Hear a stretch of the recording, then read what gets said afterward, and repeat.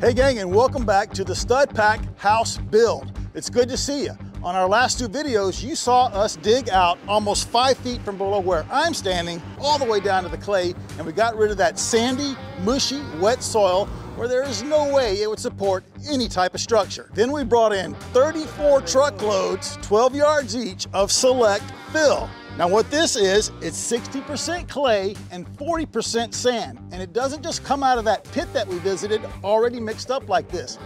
That excavator operator, he digs some clay, he digs some sand, and he mixes it together in that 60-40% ratio while he's waiting on other trucks, and then he stockpiles it.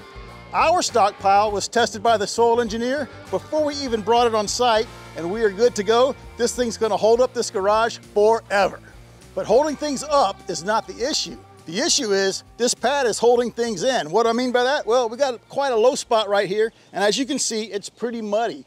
We don't want to be working in this mud while we're setting forms, digging our footings, have the plumber come in, do all his work. We want it as dry as can be. So we thought we'd use this sunny, cold, windy day to dial in this pad a little bit better and make it as flat as we can. It doesn't have to be perfect. As much as I want it to be perfect, I know that it can't, but we're gonna do the best we can. Now we could get down on our hands and knees, army crawl, use a level, get this thing dialed in the way we want, but you know what, Jordan? I thought we'd use some of that money you won in Vegas and buy ourselves a brand new tool that's gonna be an absolute game changer on this entire project. So I bought a Spectra Precision LL300N rotary laser for this job site. Got the rotary laser, a tripod, even comes with batteries. There's our sensor and our pole. Let's get this thing powered up and fired up. All right, check it out. This thing is all ready to go. Basically, all we had to do was put in the included 4D batteries. Power button right there. It's gonna self-level, and once it starts spinning, it is ready to go. So I really wanna know how much higher this pad is above our sidewalk in our street. So why don't we go set this up over there shoot the sidewalk, shoot the pad, and get that number. All right, we have the tripod and the laser set up on the sidewalk because that's what we want our slab to be higher than. As long as water flows this way to the sidewalk, it's gonna hit the sidewalk, flow that way to the city storm drain. So I'm gonna come around to this side of it. This thing's pretty simple. We're gonna power it up right here. And it's going into self-test mode. It's gonna self-level. And once that spins, it's ready to go. So I guess we got it pretty well dialed in right away. All right, we got our detector. This is a volume control. It's pretty low. If it's on the high, you wouldn't be able to hear me. So I'm gonna raise it up a little bit. I'm gonna get it perfectly even with the laser. It's gonna tell me up or down. I've even got a scale on the back that I can see wants me to go up. All right, gang, now that we have our baseline, what I mean by that, the laser is about four foot nine above the sidewalk, and we've got it dialed in right here on our pole. So I'm gonna walk back to the pad and see how much higher we are than the sidewalk. And this pole is gonna help us do that. I've got the receiver right here, and as long as we're even with the sidewalk, I think we're gonna be okay because remember, we're gonna put about four or five inches on top of the pad, and that's gonna get us four or five inches above the sidewalk, which is above the drain on the sidewalk, so we're gonna be good and we're gonna have good drainage. Let's check it out and see what we have. All right, we're at the front left-hand corner of the garage, indicated by the pink paint on our sewer pipe over there and that's facing the garage from the street. And I know I'm gonna have to move this indicator down, and I don't wanna have to do any math in my head, so I'm just gonna put a piece of green frog tape right there. It's about four foot nine, and then as I lower this, we'll have a visual indication of exactly how much higher the pad is. All right, I'm gonna start moving the receiver down and pick up our laser beam. Uh, no, I'm not. Where'd it go? Let's go see if we lost battery. Ugh. Okay, here we go. Take 17. God's got jokes. But why is it doing all that right now? Is it possible, I'm just throwing this out there, that it's bouncing off the phone and the glass and giving me false readings? Move the phone around, like, see if you can make it happen again, like bounce it off the glass. I don't know, man, that's weird. Shouldn't be getting any reading when I'm four inches higher than the beam, but it definitely was. Okay, now I'm gonna start moving the receiver down, and that's gonna tell us how much higher than the sidewalk we are with our pad. We're gonna keep on going. Uh, right there, lock it in. About four and a half inches higher right here. Let's go check out the other corners. All right, now we're at the front right corner. Let's see where we are. Perfect, about three and a half higher right here. Let's check the back. All right, on this back corner, remember I always put this back at my benchmark with the frog tape so I, I know I'm right with the laser at the sidewalk. And this one's right there. This side right here, this point is even with the sidewalk or level with the sidewalk. Nice. One more corner, let's check it out. And boom. I feel like we're higher. I'm gonna lower this. Perfect. Right there. Three and a half, just like that other corner. Not bad, guys. All right, so we don't forget those measurements. We don't have to pull out the stick again. I'm just gonna put them right here on the dirt. This corner was plus 4.5 inches. This corner plus 3.5 inches. Pretty nice penmanship, huh, Jordan? I like that. Back here in this corner, I'm just gonna put a big zero, because that's what it's it. it's a good, come on. All right, That's what's its ease. and our last one, three and a half again. Cool, man. Now what's our next step, Jordan? I don't know. We've never done this before. All right, while we had the laser out, we went ahead and marked nine points on our pad for the new garage. And basically this side, we're within two and a half inches of being flat. Three and a half, four, three and a half, six is our high spot.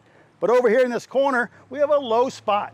They came out at zero on the receiver, which means right here where I'm standing is the same elevation as the sidewalk. But we're gonna take care of that, and here's how we're gonna do it. We have to come in here and dig all our grade beams, two and a half foot deep, that's gonna be filled with concrete, it's gonna support our two-story building. And the material that we're gonna be removing is that expensive select fill, $150 for one truckload. And we're gonna use that material that we dig out of the grade beams, use it right here, just in this corner, and build this up a little bit so we don't have to pay extra money for extra concrete to build this up. We're gonna use the select fill to build it up instead. All right, now that we have our head wrapped around this pad and we know it's gonna work, we're getting closer to start setting some form work.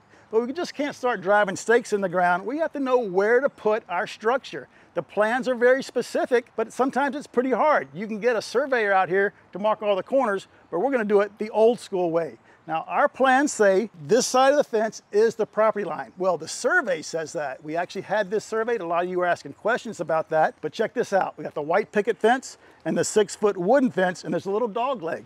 So yes, that wooden fence is about a foot and a half on Jordan's property. We'll deal with that later. It's not in our way right now. But back to this picket fence. If we simply pull a measurement here, and in the back, our building's not gonna be where it's supposed to be because this thing is going like this, the whole length.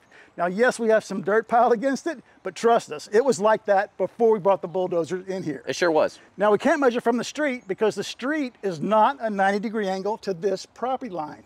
And we can't measure off the house because it's probably worse than the fence. So in order to make sure our building is parallel with this property line, here's what we're gonna do. That stake on the picket fence, the last one by the wooden fence, is straight.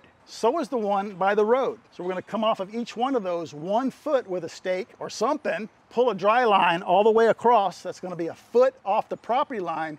Then we'll measure from the dry line five feet to our building line. Hope that makes sense. Yeah, and we'll use our eyes to double check everything because we can head down to the street, sight down that string line, and see if we're parallel. I mean, we'll have a pretty good idea. Yeah, it's gonna be within, I'd say half an inch, quarter inch where it's supposed to be. I hope so. Yeah, let's do it.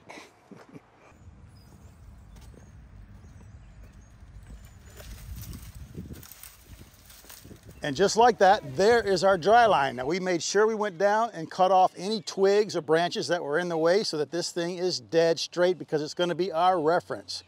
And remember, it's a foot off of our property line. How do we know that?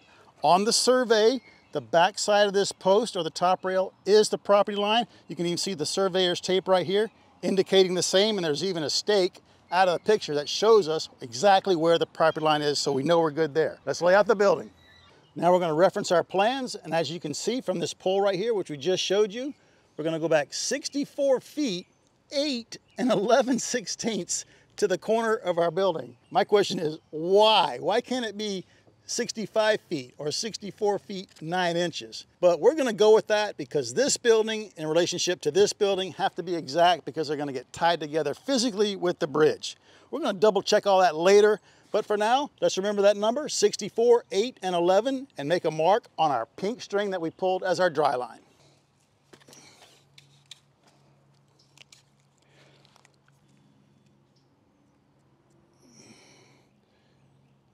There's the front of your garage, bud. Right on, little Sharpie mark? Yep. So what you're telling me is that we're turning that little Sharpie mark into an entire slab? Yeah, just imagine that's how the Egyptians started with the pyramids, right? so we're gonna establish some batter boards. You've all seen these on construction sites. Maybe you didn't know what they were called, but they're called batter boards, just like a baseball batter. I've heard them called corner boards before. Yeah, same thing. Yeah. Uh, There's probably a bunch of names. So batter boards or corner boards are real simple. It's just gonna be a horizontal board here. We're gonna make the top of this board the top of our slab. Other people do it different ways, but that's what we're gonna do. Then we're gonna have one here, even with the top of our slab. And these are gonna be reference points where we're gonna put our string, and then that string is gonna represent the edges of our foundation. But before we can put these up, we need some stakes. We need 12 in total, so let's go get the circular saw and make ourselves some stakes.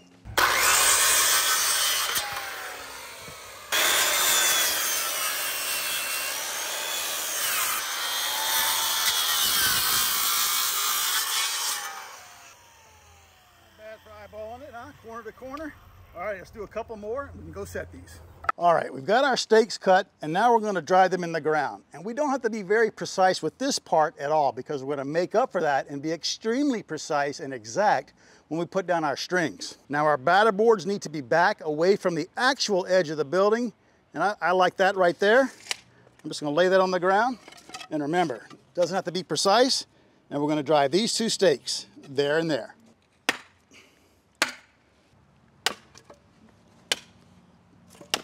Cool. All right, now that we have our three stakes in, it's time to attach the batter boards.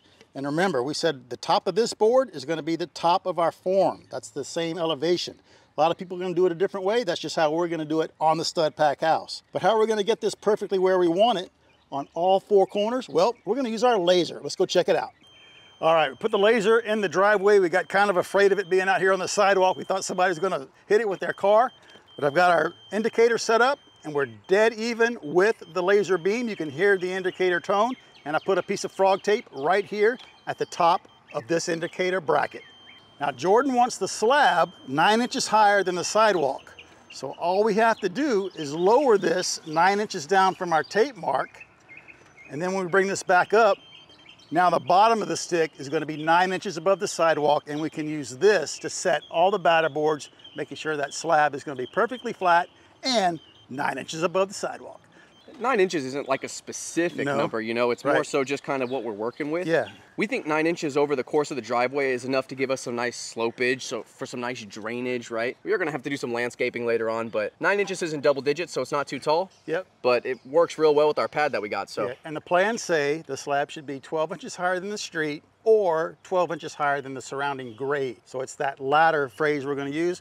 We know we're 12 inches higher than everything else around us because of how low it was and how much we built it up with this select fill. Right on. Cool. So I'm gonna hold this rod plumb. There's a little spirit level on the top of the receiver right there. I'm gonna hold it plumb and in line with our laser. And then Rad's gonna mark the bottom right there, Rad. And so that mark is the top of our slab, nine inches above the sidewalk. Nice. All right.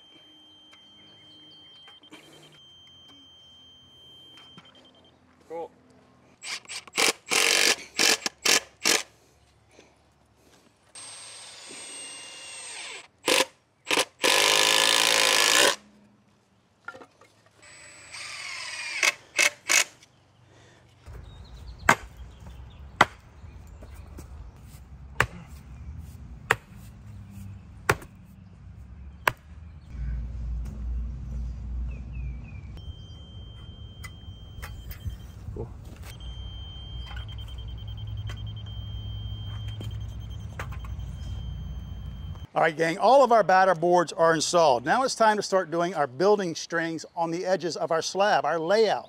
That's gonna define the edges of the slab. So remember, we're just gonna come off of this dry line, four foot this way, and make a mark on that board. That mark will be five foot from our property line because remember, this dry line is a foot away from the property line. And how we're gonna do that? I'm just gonna plumb down with a level. I don't wanna touch the dry line. I wanna get it plumb. And then we're gonna hook this tape on the back of the level. And Rad's gonna make a mark on our batter board at four feet when I say go. All right, guys, we got our mark. Rad just putting a screw right there where he marked it, right above that little arrow. And that's gonna be our string line. That is our slab right there. So we put that at an angle so the string doesn't ride up on it and throw off our measurement. It's always gonna be at the bottom just like that.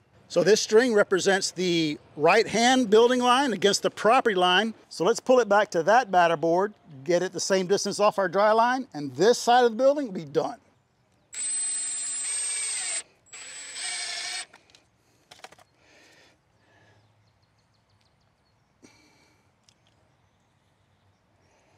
Do you remember getting frustrated at me for how long it used to take me to tie my shoes?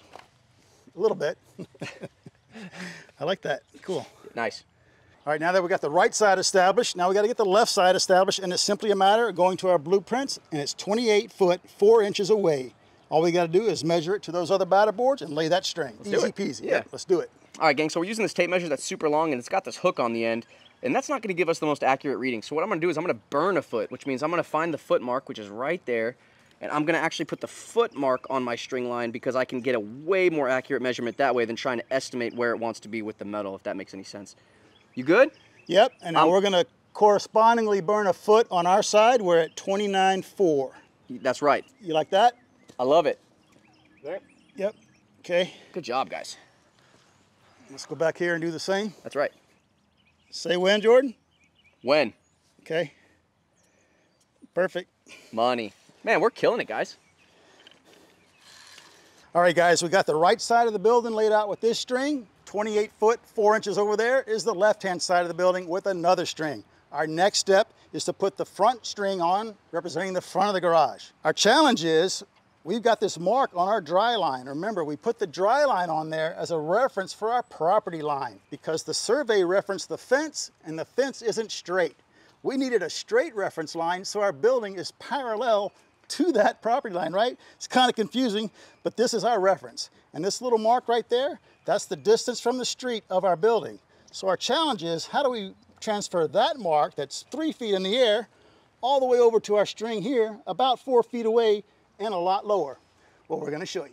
All right, we have our line laser set up over here in the dirt, pointing towards the fence, and it is square to our dry line. How could you possibly know that? Well, I got my drywall square. I put it against the dry line here. And then this blade, obviously, is 90 degrees to this blade. It lines up right here. We made a mark on our batter board. So check this out. I don't know if you can see it, but there's the laser on my hand right behind the black mark on our dry line. Hard to see, but it is there. Okay. And then it's behind the mark we just made on our batter board. You can actually see it right there. And now what we're gonna do, we're actually gonna make a mark on our white line. at The same point. Here, Rad, can you do that? Of course. It's okay if you mark my hand. All right. Oh, there you go. Perfect. And that's the corner of our building. Really? Yes, sir. Yes, sir. All right, now that we got this corner done, we're gonna pull a tape 32 feet back, make the same little black mark on our string for the right side of the building, 32 feet. That's how deep our structure is. And then we're gonna use those two corners and a little bit of math, you know what I'm talking about, to get that corner perfect. What if I were to say that I don't know what you're talking about? And go back to school. Nice. Yep. I feel good about that. Yep.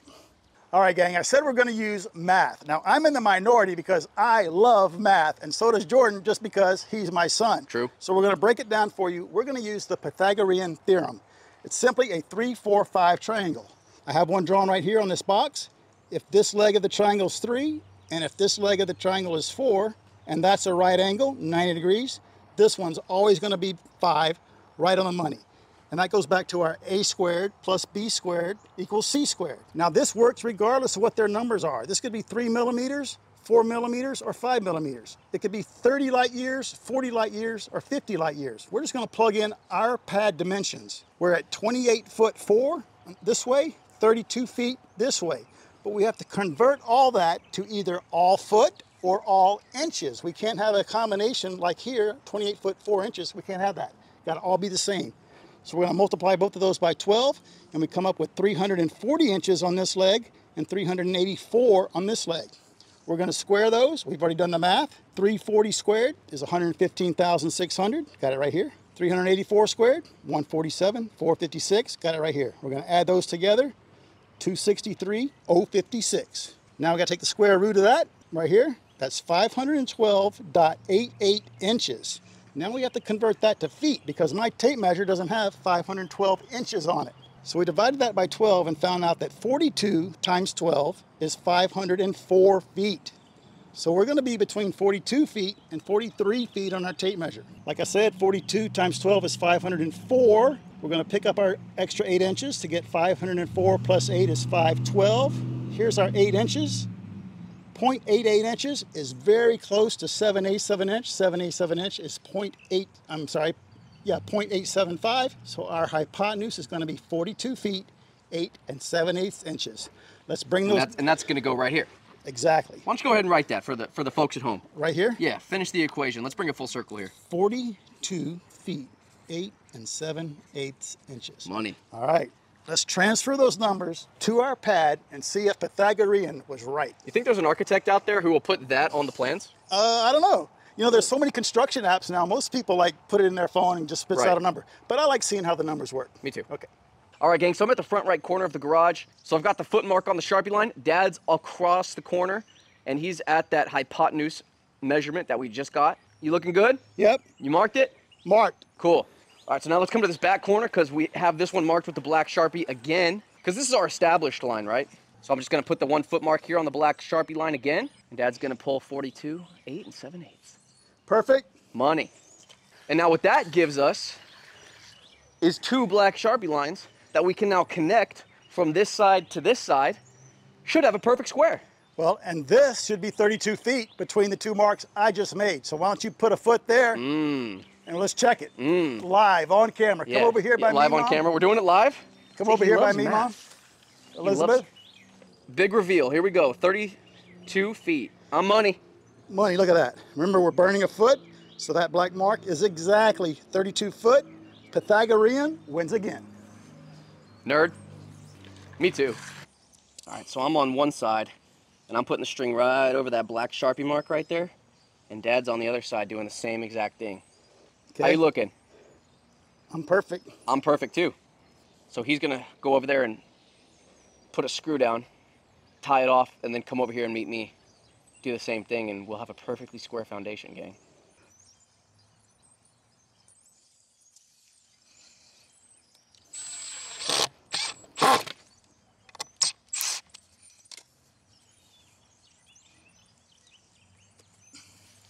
What? You wanted to, we could pull the tape from corner to corner again, but it's going to be perfect. I think we should. All right, let's do it. Okay. I'm Hold under on. I'm under the laser. All right.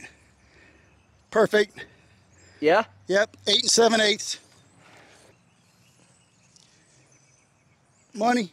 Money? Yep. No way. Oh. Nice job, bud. All right, there we go. Yeah. No way. And that works if you're doing this huge house or even an L. Just break it up into right triangles and you can get anything square. Yeah. As long as it's square sides and not curves and and uh, weird angles. But Right. that's great. I'm so proud of that. Me too. It took perfect. It took Yeah, us all day, It did. but hey, But we're filming and it's our first one ever. yep. Cool, dude. And mom's here. That always slows us down. All right, Jordan, man, that was fantastic. I feel so good about this. Remember, now this is the outline of your slab and it's the elevation of your slab, Wow. right? We got the front edge, the back edge, and the left and the right. That's a really cool visual. And It you were saying the entire time we were laying this, like, dude, this is massive. Yeah, imagine walking across the bridge from the second story over there or coming up the stairs into that corner, into this huge room with a bathroom in the corner, kitchenette over here. You got all kind of room for exercise equipment, do whatever you want as far as the apartment layout. Right. Before you move into the main house, it's going to be epic. I and think- look at all the room ahead. in the garage downstairs, right? Well, I was just about to say Yeah. that. So we're thinking about functionality. The worst thing you can do is build your own house and then be done and think, man, I wish I would have had more space in that area. Right. So just as far as a garage goes, definitely can fit two cars in here. One car for now because definitely can't buy two cars with this house build going on. But that's going to be plenty room to house the Mustang. And upstairs, while I will have a living apartment up there, after we move into the main house and finish that, I'm gonna turn it into an exercise room because the dream is to wake up. The master bedroom is gonna be upstairs, walk out across the bridge into the exercise room and just be able to hit the cardio, blast some music, and it's gonna be epic. That's the dream at least. Yep. We're You know- making it happen. You know what I keep thinking about? Is that electric wall mounted pressure washer you want. And Yes. it's going to be right here. That's right. Pull the hose off the reel and bring it out and wash your car right there. Because now I'm doing it in your driveway because I don't have one and I leave it out all over the place. So I know you're stoked for that. Well, and that's why we made this a little bit higher. We want that water to drain off real nice. Right, and so we are nine inches above the sidewalk where the storm drain is. I think this is a great slab height. Not Yeah. too high where you're having a massive elevation. Yeah, and so now what we're gonna do with this string, imagine this two by four is our form. All we have to do is get it to the right elevation, the same as the string. Easy. Just kiss this edge, put our stakes in, nail it off. We're almost ready for some rebar and concrete. Hard to believe. Yeah, that's our next step. Yep. It's taken us a long time. Uh, the videos are coming out five days apart because we're really just like trying to figure everything else out, Yeah, and a lot behind the scenes too. which we're going to talk about later. But Yeah. man, we we are just getting swamped behind the scenes and we're figuring it all out. But we're going to update them as we go. But yeah. this it's is a working. W. It's totally working. So make sure your like button is square using the Pythagorean theorem. Then smash it for us. Don't forget to check our website, studpack.com for merch. best way to support the build. Absolutely. Ask a question, drop a comment, and please subscribe, and we'll see you on the very next Stud Pack video.